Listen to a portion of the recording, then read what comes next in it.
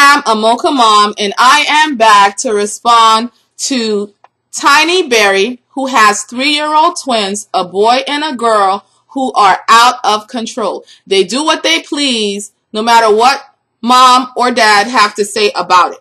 Yet when they get to daycare, the boy is perfect in his behavior, and the girl, she's just starting to be rude to her teachers. Mom and dad have different discipline styles. Mom wants to talk and reason with the twins. Dad gives them three warnings, then it's a spanking to bed or timeout. Mom wants to know, is it my fault? What am I doing wrong? Are there methods of discipline I should be using? And is the school a bad influence on the daughter? What I want to say in love is that, yes, I do believe it's you, your fault your fault and your husband's fault because you have to present a united front to your children. You two have to agree on what method of discipline you are going to use. I don't believe there's a magic form of discipline that's going to wipe out all the problems that you're having.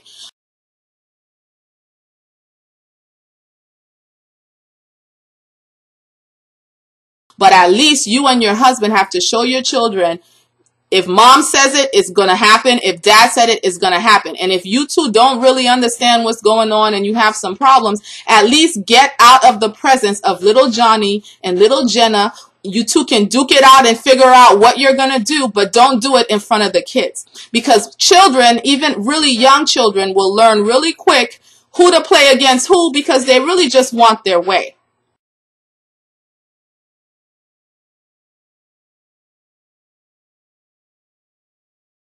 And I have to tell you, mom, that you're not going to be able to reason with a three-year-old, with three-year-olds. their, their logical reasoning skills are very limited. They could understand some very basic things, but I know as parents, we tend to want to go on this whole long explanation about why they shouldn't do this and that as if the next time they're presented with the situation, they're going to sit there and think through, hmm, I really shouldn't do this. This is not good for my health. I might get hurt if I do this. I need to turn around. They want what they want right now. So whatever course of action you take has to be very simple and very clear. And that's why Spanking is really effective at that age because everybody understands pain. And I'm not talking about go get a switch off the tree, go get the extension cord, go get my baseball bat. I'm going to hit you and hit you and hit you and hit you until I'm not frustrated anymore. There's a biblical and very disciplined and controlled way to discipline your kids when using spanking.